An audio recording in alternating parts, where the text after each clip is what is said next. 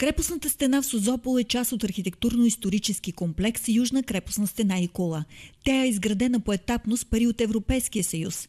Преди 7 години обаче 4 метра от зида навлизат в частния имот на Иван Манолов. Гледайте ли го тук на стените? Къща. Памети на културата 18-19 век. Казвате, че тази стена е бутафорна. Е бутафорна ми, супер бутафорна. Фалшива. С каманаци от морето, Исторически комплекс Южна крепостна стена и кула е създаден от фундация Созопол. Нейният председател Кирил Арнаутски е шокиран от решението на съда.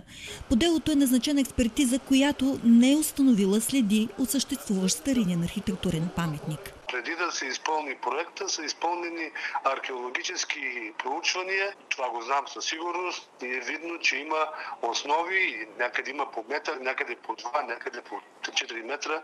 Има запазен стария език, така че няма как да е, няма как да е бутафорно. Кой може да каже дали е било автентично или не? Тук има вградени остатъци от стената, които са очертани с уловна ламарина.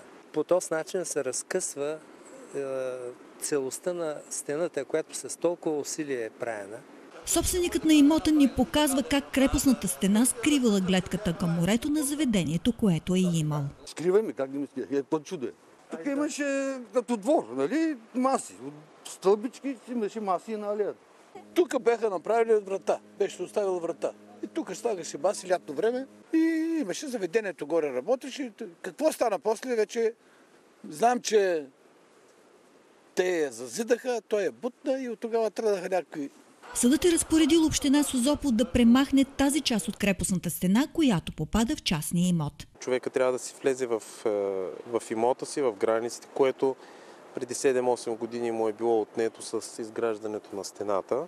Съда е постановил, че той е в правото си, така че ние нямаме друг избор. Решението не е окончателно и може да се обжалва пред окръжния съд Бургас. За новините ОНЕР Стиляна Георгиева.